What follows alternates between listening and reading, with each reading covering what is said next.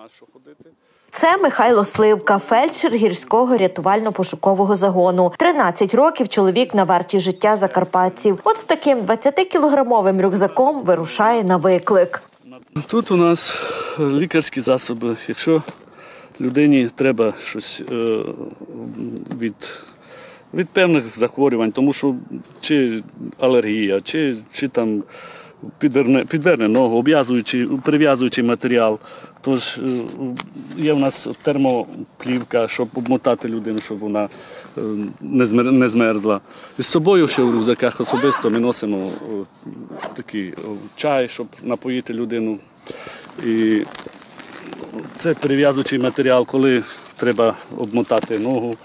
А цей рюкзак додатковий, трохи легший до 10 кілограм, проте не менш важливий у роботі рятувальника у горах. У цьому рюкзаку у нас ще є надувні шини при пошкодженні кінцівок, верхніх нижніх кінцівок. От у нас є е, шини от так, такого. Це на ногу шина надувна. Вже нам спростили роботу, що не треба дерев'яні, желізні, рука, нога. От надуваємо і на транспортуємо людину до швидкої медичної допомоги зверху вниз. Відшукати людей в горах, надати допомогу і доставити у безпечне місце. І все швидко, адже інколи час іде на хвилини. Завдання рятувальників не з простих. Погодні умови самі важчі. Колектив у нас, слава Богу, суперовий.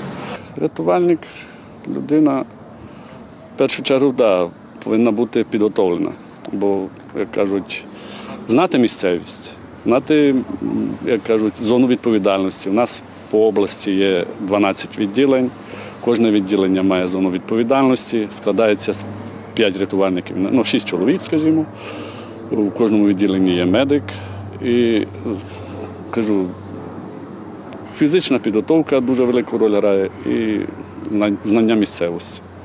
Михайло Сливка каже, найбільший виклик, коли пошуки закінчуються трагічно, а таке у горах буває. Саме складніше, коли виходиш, вже е, знаєш, як ми у 13-му році шукали пілотів, прикордонників, вже неживих, на жаль. І забирати ті всі, як кажуть, е, нюанси, то треба мати на то сталеві нерви, скажімо так. Людина мусить бути фізично і морально підготовлена, щоб там тут працювати на цій посаді, на цій роботі. А це Кароліна Куліс. Шість років тендітна жінка у групі радіаційно-хімічного захисту і знає все про безпеку людей, навіть якщо стикається з невідомими речовинами. Якщо стаються якісь непередбачувані ситуації на підприємствах, е, е, де є небезпечно-хімічні речовини, то моя група, я в тому числі, виїжджаємо для ліквідації наслідків е, таких надзвичайних ситуацій, які пов'язані з небезпечно-хімічними речовинами. А також е, ми працюємо, якщо, не дай Бог, є якісь е, ну, радіація. Усі професії є небезпечними, але їх треба виконувати.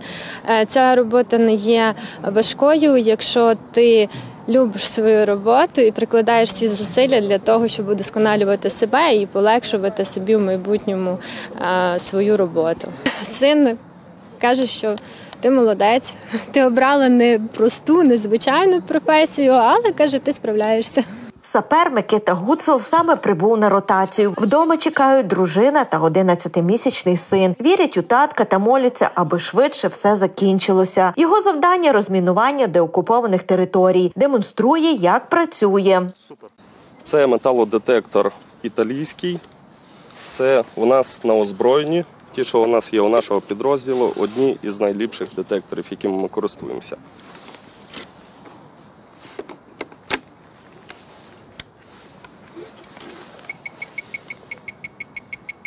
Він автоматично настраюється. У нього так заведено вже з заводу настройки. Реагує металодетектор на зміну електромагнітного поля. Тут ми можемо бачити, то, що зараз в землі знаходиться якийсь металичний предмет. Потім, коли предмет ми вже побачили, вибрали собі центр, ми вже потім проводимо роботу з так званим щупом. Вперед ми вже нічого не ставимо. Допустимо, якщо ми йдемо, перевіряємо територію, знайшли ми сигнал, то детектор ставиться у нас за спину, бо за спиною вже перевірена територія йде. І потім ми починаємо працювати. Візуально ми нічого не бачимо.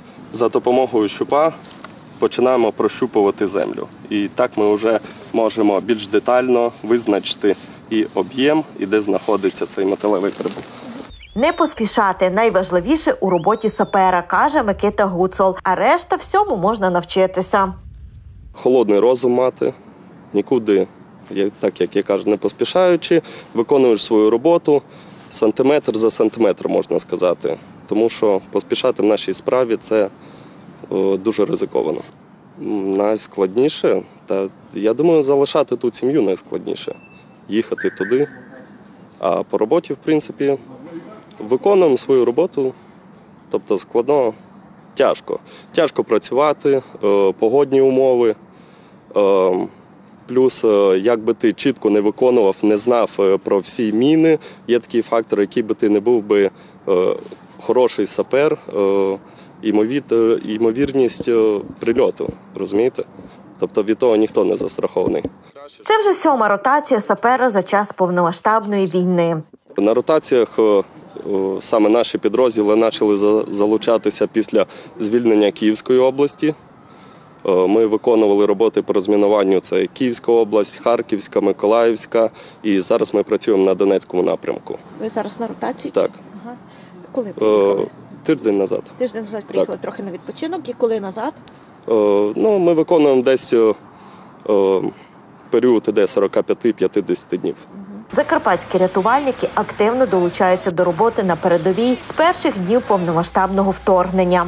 Піротехніки Закарпатського гарнізону здійснили 31 ротацію е, на деокупованій території, де вони вилучили та знешкодили понад 13 тисяч вибухонебезпечних предметів. І зараз вони продовжують працювати на східному напрямку. Наразі там у нас знаходиться два відділення. Долучаються і зведені пожежно-рятувальні загони, які міняють е, пожежників Харківщини, Миколаївщини. Наразі мукачівські та ужгородські рятувальники якраз знаходяться на Харківщині. Окрім того, залучається і важка інженерна техніка, тож е, крановики або інші фахівці, які працюють на важкій техніці, відновлюють нормальні умови життєзабезпечення е, громадян, які мешкають в Херсонській чи Миколаївських обстрілів, розбирають завали е, чи відновлюють нормальні умови, аби якнайшвидше повернути життя громадянам і зробити його більш безпечним. Запобігти, врятувати, допомогти. Під таким гаслом проходять будні рятувальників на пожежах, катастрофах, аваріях, рятують людей на воді, у вогні, у горах, з-під уламків, а ще знешкоджують боєприпаси. 17 вересня вся країна святкувала професійне свято всіх героїв без зброї. Це був день рятівника. Святкували і закарпатські рятівники. Це люди, які залучаються і на ліквідацію наслідків негоди, і на ліквідацію наслідків дорожньо-транспортних пригод, і для допомоги людям. Е, Зокрема, закарпатський гарнізон налічує майже півтори тисячі фахівців. Це здебільшого саме фахівці-рятувальники, які щоденно, щогодинне, і вдень, і вночі, і в сніг, і в спеку вони готові допомагати людям і завжди прийдуть їм на допомогу.